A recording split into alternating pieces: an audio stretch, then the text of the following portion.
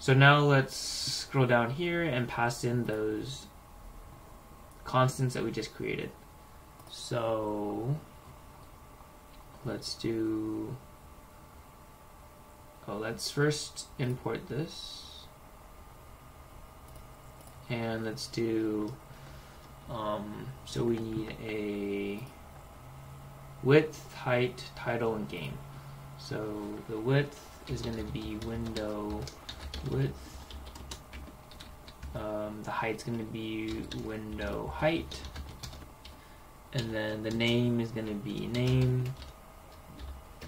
And um, the game is going to be this this object. Okay. Um, let's see why are we're getting an error here. Oh, okay, so right, so this is the wrong window import. So be sure to import the right window. Um, that's the window that comes with Java, um, but we want to use. Oh, okay, so there's an S at the end here. So we want to do Windows and then import this. There we go. Okay, so now let's save that. And okay, so things look good now. So now we have our window.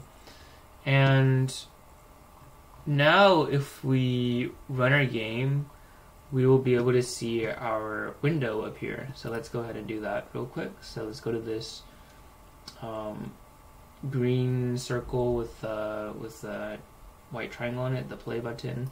Let's go ahead and click that. And now we see we have our window appearing. We also have our frames and our ticks per second from last time. And you'll notice that the name constant is up here. Um, and then we have our width and a height. Um, and you can't, you can't uh, change the width and the height of this of this window. Let's go ahead and X that out. Okay, so now let's render our background for a game. Um, and so to do that, let's go down to our render function and add some code here. So let's start by creating a buffer strategy buff, which equals this dot get buffer strategy. And let's go ahead and import this buffer strategy. And let's do if the buffer is equal to null, then this dot create buffer strategy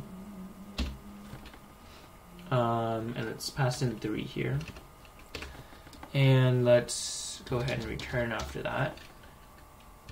And below here we'll just make a comment for drawing the graphics.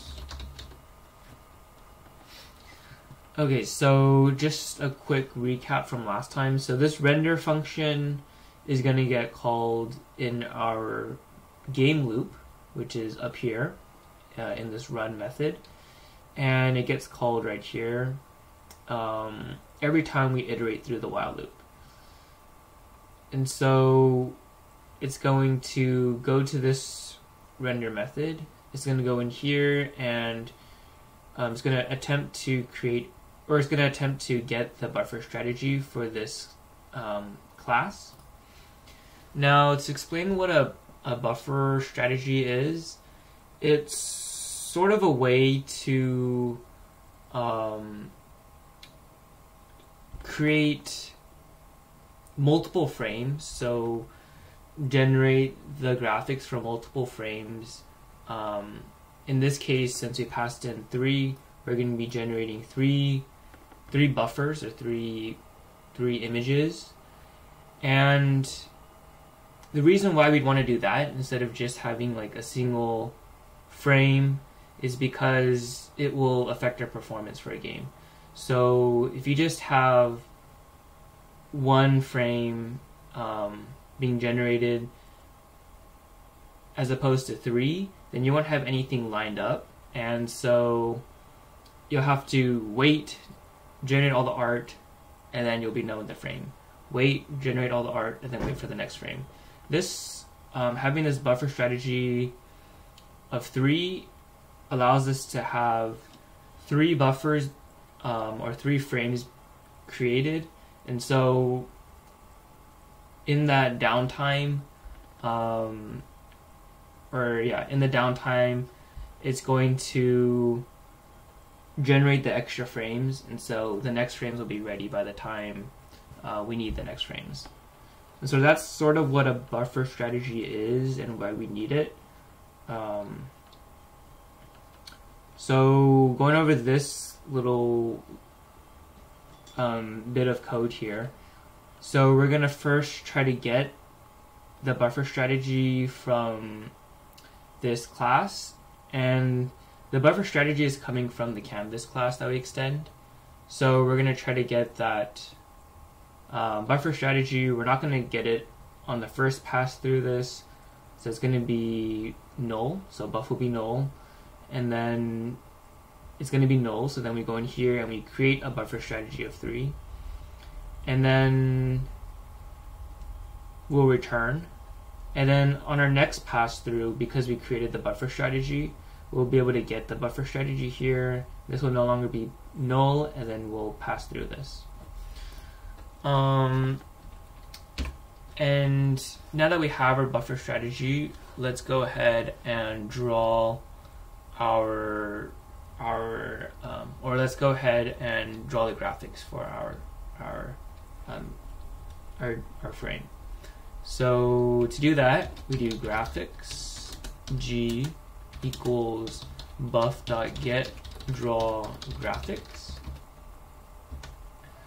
Um, and to explain what graphics is, it's the thing that we draw onto so um, you have your window, which is like the J-frame, and then to actually draw stuff onto there, you need a graphics um, object. And so we get the the graphics from whatever buffer um, buffer buffer strategy we're using. And let's go ahead and import that graphics.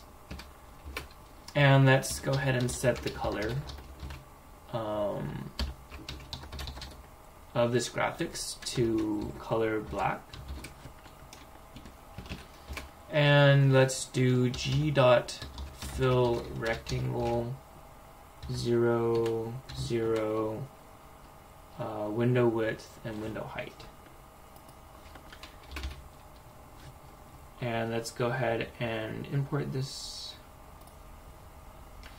so what this does is it creates a graphics and then it sets the color of the graphics to black. And then when we call fill rectangle, it creates a rectangle at this position with this width and this height, and it uses whatever color we set back here. So it will create a, a black rectangle that's the size of our window. And that's essentially just creating the background for our game. So the background will be, will be black.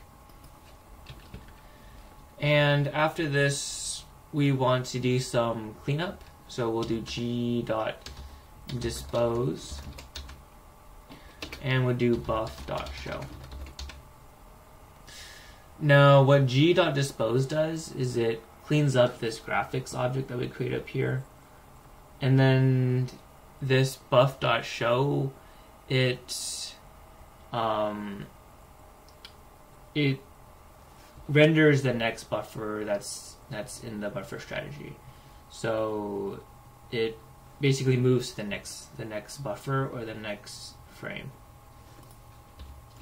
And let's add a comment here that says clean for next frame.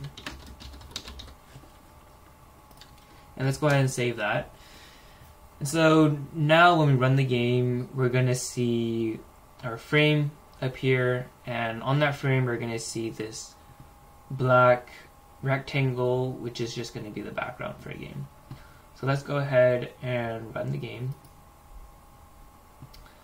And yeah, there's our background for a game, and you can see it's rendering nicely. Okay, so that's pretty much all I wanted to go over in this tutorial for today. Um, I know there isn't too much action going on yet, but hold tight.